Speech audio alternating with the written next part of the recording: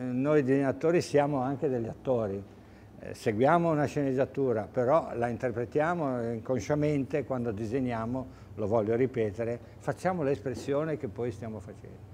Quindi meglio siamo interpreti della sceneggiatura del, delle parole, meglio è secondo me il risultato che poi si otterrà. Credo sia questa una, una delle soluzioni.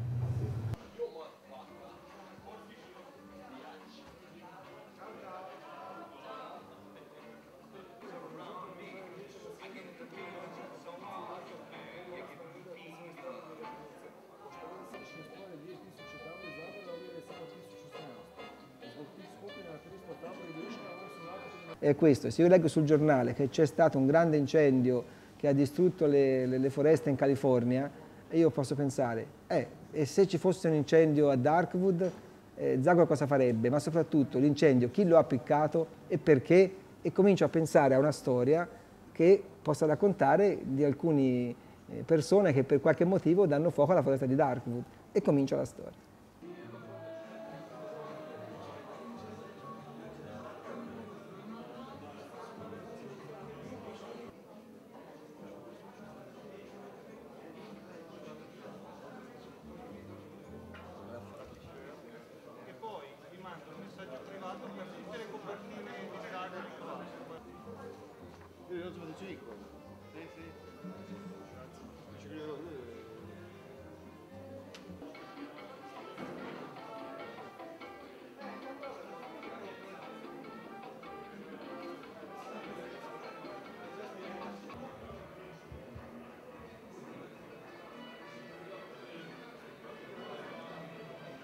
Izvukli su me na tomboli e, i moj omiljeni crtač Jovito mi je nacrtao sliku koju ću okviriti iznad kreveta.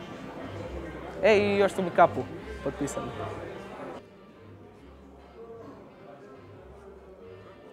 Moćnija, zato to nije Zagor u nevolji, ovdje u nevolji. To je Zagor u nevolji. Dobro, znam, ali ima, ima...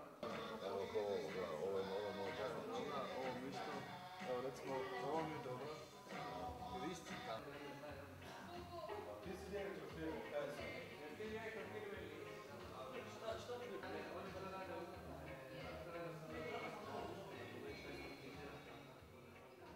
Zagora sam počeo čitati od svoje sedme godine.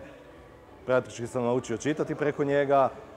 Čitam ga još dan danas jednakim intenzitetom, najviše zato što me znači opušta odmah od svakodnevice mi daje, to je to.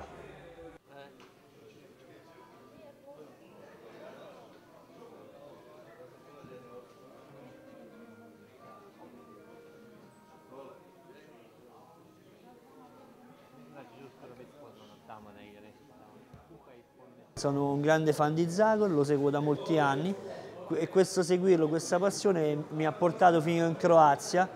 Zagor per noi è una passione perché vive le sue avventure sempre col cuore e ci trasporta ai confini della realtà, come anche un titolo di un'avventura. Ci piace appunto perché è un eroe senza macchia, è sempre dalla parte dei giusti e alla fine vince sempre come dovrebbe essere anche nella, nella realtà, cioè vince sempre il bene.